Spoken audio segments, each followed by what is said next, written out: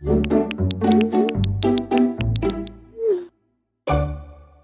gente, tudo bom com vocês? De volta no meu canal, meu nome é Priscila Sanches e eu sou a pessoa né, responsável por esse canal que posta vídeo toda semana aqui de histórias diferentes, mas eu sou a pessoa que menos aparece no meu próprio canal, olha que coisa maluca. Hoje eu decidi contar uma das histórias né, que eu vivi no intercâmbio de au pair, mas eu também decidi trazer, né, ser a última pessoa dessa temporada porque eu trago péssimas notícias. O Brasil já tá passando por muita mudança. Ai, quanta mudança. É o fim do Tinderão na No, God, please, no! No!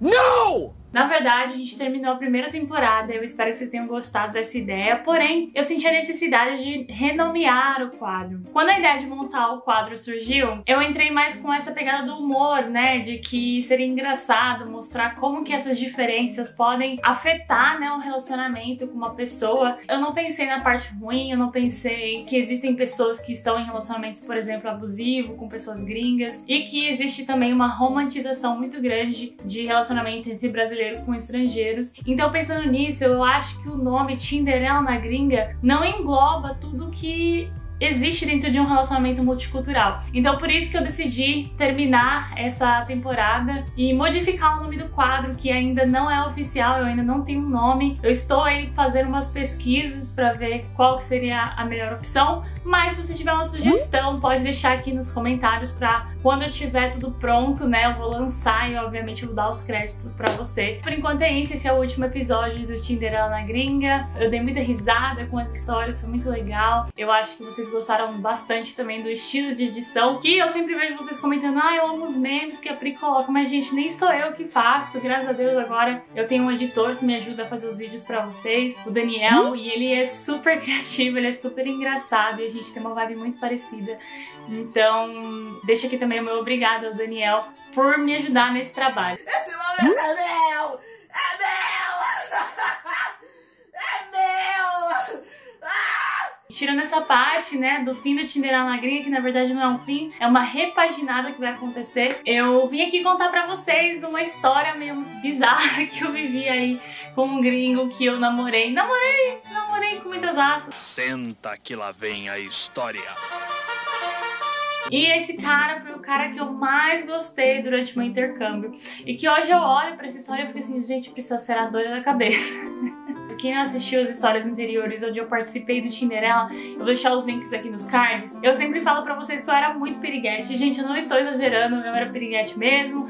Eu saía com dois, três caras por semana, assim, tipo, pra conhecer mesmo. Porque aqui nos Estados Unidos, aqui nos Estados Unidos, não, eu moro no Canadá agora. Mas nos Estados Unidos, e também no Canadá, as pessoas não têm esse costume de beijar no primeiro date, né? Então, às vezes você sai com a pessoa e se não bater a vibe, você entendeu? Deixa pra lá e a vida segue. Então eu não me sentia mal de sair conhecer gente. Eu achava que era, na verdade, uma ótima oportunidade também de eu praticar o meu inglês, que era bem ruim também. E, enfim, eu usava dessa tática aí de conhecer gente pra poder explorar também é, a cidade onde eu morava, que era Michigan. E assim foi, então eu saía com vários boys e tal. E aí eu tive meu primeiro namoradinho, que eu já contei a história, tive o segundo namoradinho também, que eu já contei a história. E aí veio o terceiro namoradinho, foi depois daquele boy da tatuagem que eu contei pra vocês, que fez uma tatuagem pra mim. E a gente começou a conversar pelo Tinder, falava sobre tudo e era super divertido. E um detalhe desse cara, ele era italiano. Na verdade ele nasceu nos Estados Unidos, mas os pais dele eram italianos. E aqui eles falam muito isso, tá, gente? As pessoas falam assim, ah, você, você é da onde? A pessoa fala assim, ah, eu sou italiano. Ah, que legal, de que parte da Itália? Ah, não, eu nasci aqui nos Estados Unidos, mas eu sou italiano. Então, tipo, eles têm essa visão de que se os seus pais são da Itália, você é automaticamente da Itália também. Mas ele era nascido nos Estados Unidos, porém os pais dele eram italianos. E eles tinham uma família enorme, acho que era ele e mais sete irmãos. Então, essa coisa assim de farofeiro que eu tinha muito, que como vocês sabem, eu, né, vim lá da favela, eu falo mano, eu... Enfim, eu tenho meu jeitão, que não parece, eu sei pela cara, né, eu tenho uma carinha assim que as pessoas... Que eu sei que engana as pessoas e não é de propósito, mas eu sou muito povão, assim. Banho de arroz é comida requentada. e aí eu conheci esse menino que tinha essa vibe também, né, pelo menos no início parecia que tinha essa vibe. E a gente começou a conversar e super fluiu. É, a gente ficou, acho que umas duas semanas conversando e depois a gente foi num date. E esse foi o primeiro americano que tentou me beijar num date, no primeiro date, né? Sempre eu saía com os caras, já ia assim, tipo, ai, hum, nem, nem tô com esperança de rolar nada, porque eu sabia que não ia rolar. Mas esse boy tentou me beijar, e porque eu sabia que existia um certo julgamento, assim, em relação às pessoas que beijam no primeiro date, eu não beijei ele, tá? E quem fez a americana foi eu. Mas, mas a gente saiu e foi super legal bateu a vibe de primeira, assim.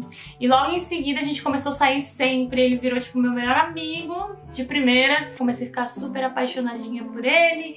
E aí eu comecei a falar dele pra minha família, né? Pra minha família, no caso, pra minha mãe, pra minha irmã. Ai, ele é um gato, não sei o que, eu vou casar com esse boy. Eu sempre iludida, sempre emocionada. E aí tá, beleza, a gente começou a sair, a gente ficou, foi super legal. Só que tem um detalhe. Ele era muito riquinho, assim, ele estava sempre com umas roupas de marca e eu sendo au pair, né? Você imagina o contraste. Ele nunca me falou sobre a profissão dele, o que eu achava muito bizarro, né? Porque aqui você vai sair com as pessoas, a primeira coisa que elas perguntam é qual é o seu trabalho, fala sobre o trabalho delas, parece uma entrevista de emprego mesmo. Mas ele me falou e eu, tipo, ah, foda-se também o que ele faz, sabe? A gente conversava, mas a gente não entrava nesse assunto e vocês vão entender por que logo em seguida. Mas aí foi e tal, a gente começou a sair sempre, acho que a gente ficou, sei lá, um mês e meio saindo até que ele me chamou pra ir na casa dele. E aí eu, né, já tava saindo um mês e meio, já estava me sentindo segura com o boy, falei, ah, eu vou, né, por que não? Cheguei lá, gente, o menino morava, ele e um amigo, numa mansão. Tipo assim, mas não tô exagerando, devia ter uns 20 quartos naquela casa. Tipo, só pra duas pessoas. Que eu já comecei, né, a ficar com o cu na mão. Eu já tava achando assim, puta que pariu, tô saindo com um traficante, não sei, tava acontecendo, porque ele não tinha o perfil, assim, sabe? É, ele era todo educadinho, super gente boa, sabe? Parecia que tava tudo dentro da lei ali, normal. Eu acho que as chances dele ser um criminoso são nulas. Porém, pela casa que ele tem, pela idade que ele tem, é bem possível que ele seja. E a gente começou a conversar, assim, tá? Eu, aí eu falei assim, olha, eu vou ser sincera que eu não tô conseguindo lidar é, não tô conseguindo ignorar tudo isso, porque, tipo, a gente tá indo nos restaurantes caros, você tá pagando tudo, você tá me levando pra fazer vários rolês, tá pagando tudo, e agora você me trouxe nessa casa, tipo, como assim? O que tá acontecendo? O que, que você faz da vida? Ele falou assim, ai, é, eu trabalho com contabilidade. Eu falei assim, tá escrito trouxa na minha testa, né, meu querido? Falei, falei bem assim mesmo. Falei, não, fala real pra mim, o que, que você faz da vida? Eu nunca vi um contador ganhar aos, né, quase 30 anos, ele tinha, acho que tinha 28 por aí, ter uma casa dessa. Tipo, me desculpa, mas é impossível de acreditar. E aí, depois de alguns copos de vinho, ele finalmente soltou que ele era jogador de poker profissional. É uma coisa muito doida, porque nos Estados Unidos, jogar poker, se eu não me engano, gambling, né, que não é jogar poker, é você fazer qualquer tipo de jogo para ganhar dinheiro é, profissionalmente é ilegal. Existem torneios e tal que são legalizados, mas você fazer isso até então era, né? Na época que eu fui ao pé, que eu não vou citar anos, porque tem mais coisa nessa história aí. É, mas até na época era crime. Então, ele, a gente morava, né? Eu morava em Michigan, que era próxima à fronteira do Canadá. Ele ia até o Canadá pra jogar poker e voltava, tipo, pra ele não fazer nada ilegal. Quando a gente começou a se envolver mesmo, que virou meio que um namorinho e tal, ele começou a me contar mais sobre essa parte da vida dele, que era ser jogador de poker profissional. E aí, num dia, ele ganhava, tipo, 300 mil dólares num, numa tacada só.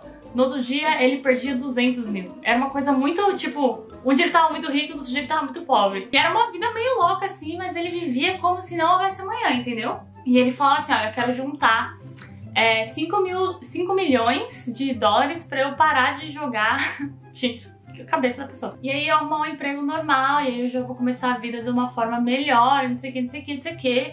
E eu, tipo assim, ah, foda-se, né? Não tem nada a ver, não vou casar com você. Até então eu não achava que ia casar, mas apesar de eu estar toda iludida, né? Eu vou assim, ah, vou casar com você, tô aqui curtindo, tá me levando pra fazer os rolês, tá me falando que vai me levar pra viajar, então eu tô aproveitando, né? E o cara ainda era um gato, tava toda apaixonada por ele. Aí, gente, aí eu perguntei pra ele da casa, né? Falei assim, mas tudo bem, você joga poker, mas me explica assim, né? Porque a sua casa é uma mansão, como que você mora nessa mansão? E aí ele me contou que ele participou de um torneio em Las Vegas.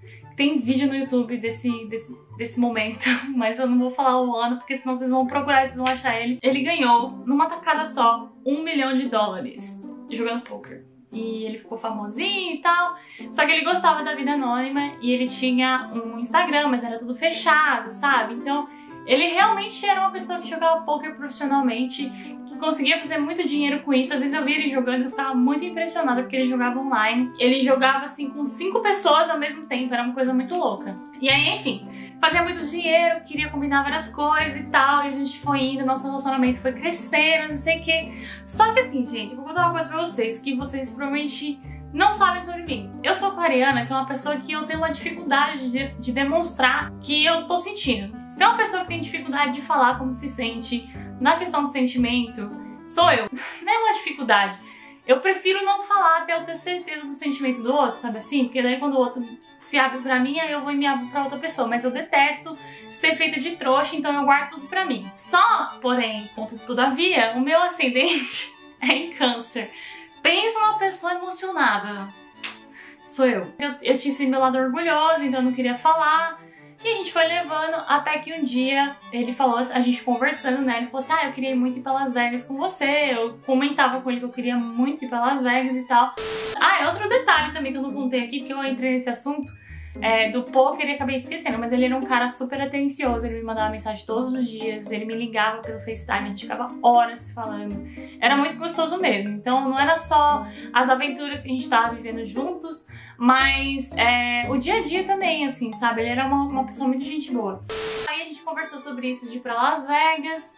E a gente falava, mas nunca dava certo. E eu já sabendo que americano tinha disso, de tipo assim, ah, fica falando que vai marcar, vai marcar e nunca marca ficar inventando historinha pra impressionar as meninas não faz. E eu queria muito ir pra Las Vegas, mulher independente que fui, fui lá, comprei minha passagem e falei pra ele, falei, olha, comprei minha passagem, tô indo pra Las Vegas tal dia, se você quiser comprar a sua, já que tem dinheiro pra caramba, né, compra e me avisa, que a gente, que daí a gente se organiza e vai junto. Ah, eu não vou poder ir nessas datas, porque vai ter um torneio de poker num cruzeiro, e eu queria muito te levar, será que não rola você cancelar? Não vou não, porque olha só, se eu fizer isso agora, ele vai achar que eu estou, tipo, caidaça por ele, cancelando minha viagem pra Las Vegas pra ficar com ele num torneio de poker. Não, eu falei pra ele, ah, vai lá pro seu torneio de poker, quando você voltar a gente se encontra. Antes de ir pra essa parte da, viagem, que eu acabei de lembrar de uma outra coisa aqui que eu não contei pra vocês, que foi o maior mico que eu paguei nos Estados Unidos foi na frente desse boy. Ai, que vergonha. A gente tava ficando, tava super legal. Eu tava tudo super tentando impressionar esse boy também, né? Porque ele tava muito me impressionando. E ele vivia falando que ele jogava futebol com o pessoal e tal, que ele queria me levar, porque eu era brasileira. E eu ficava alimentando essa ideia de que a gente que é brasileiro sabe jogar bem. Imaginava assim, bom, esses americanos não botam de perna de pau, né? Então, se eu for jogar, mesmo jogando ruim, com certeza eu vou jogar melhor que eles. Oh, meu Deus. Oh, meu Deus. Até o preconceito ao contrário é zoado, né? Mas foi assim que eu pensei, foi a lógica que eu fiz. Então eu super alimentei a ideia de que eu sabia jogar bem. E aí eu teve um dia que ele me chamou para ir jogar futebol com uns amigos dele, que eram um grupo de meninas e meninos. E a gente foi, e gente, eu era a pior pessoa. Primeiro, para começar, que esse time de pessoas que jogavam futebol era simplesmente o time da faculdade lá de Michigan, que era o time profissional da faculdade. Então, assim, né, eu falei pra ele, meu filho, você também se enxerga, né? Só que ele falou, ah, mas você falou pra mim que você jogava, que você sabia jogar. Como eu queria saber que o time da faculdade era too much, né? Que era muito pra você. Mas, enfim, aí foi. Gente, eu fiquei igual uma idiota, assim. A bola passava assim, eu correndo pra pegar a bola. Aí eu chutava pro lado errado. Fiz gol contra. Ai, foi o maior mico da história. Eu acho que daí que começou meio que as coisas ficar estranhas entre a gente. Que ele falou assim, puta, ela mentiu pra mim. Eu acho que foi daí, mas eu não tenho certeza. É, teve uma outra vez também que ele me levou num, numa balada super chique lá de Detroit, super fancy mesmo, tipo chique, chique mesmo, povo, todo mundo fino, não sei o quê. E aí eu fui num salto, né? Fui trabalhando no salto, que eu achei que, nossa, eu tenho que impressionar, né? Essa galera, esses amigos dele, que é todo mundo rico. E aí chegou lá, meu pé começou a doer, o que eu fiz? Tirei o salto na balada. Todo mundo ficou me olhando também. Foi uma coisa maravilhosa. Mas era sempre isso, tipo, eu tentando pagar de chique, assim, e não conseguindo. Era como se fosse aquele filme que tem o George Clooney lá, uma Linda Mulher, que ele leva a mina pra fazer várias coisas assim de gente rica e ela fica perdida, era eu com ele. Eu ia pra Las Vegas e ele ia pra esse torneio e tal. E aí eu fui pra Las Vegas. Só que eu fui pra Las Vegas, gente, hashtag solteira, né? Porque pra Las Vegas a gente só vai uma vez e a gente não tava namorando sério. O que acontece em Vegas fica em Vegas, não é mesmo? Então eu fui pra Las Vegas com as minhas amigas, entortei o caneco. Bebi, fui pra balada, bebi, não sei o que. Ah, foi uma loucura, foi muito legal essa viagem. Queria muito ter registro dela. Tem algum, eu acho que eu tenho um vlog quase, mas eu não tenho assim uns momentos que foram os que estão marcantes na minha memória. Mas aí nessas brincadeiras, né, nesse rolê de beber todos e ficar muito doido e tudo mais, eu perdi meu celular. No meu primeiro dia, eu ia ficar quatro dias lá. Perdi meu celular no meu primeiro dia. E aí eu não conseguia mais contato com ele, né? Sem contar as outras coisas que eu perdi, porque eu perdi meu sapato, perdi roupa dentro do hotel, perdi a dignidade com certeza, perdi várias coisas nesse rolê. Mas aí eu não consegui falar com ele por quatro dias enquanto eu estava em Las Vegas. Então você imagina a cabeça dele eu tava evitando falar com ele, né? Eu não lembrava o número de cabeça dele, né? O número do celular dele. Mas eu lembrava da minha host, então eu fui mandei mensagem pra minha host, falei assim que eu tinha perdido meu celular pra ela bloquear as ligações e tudo mais.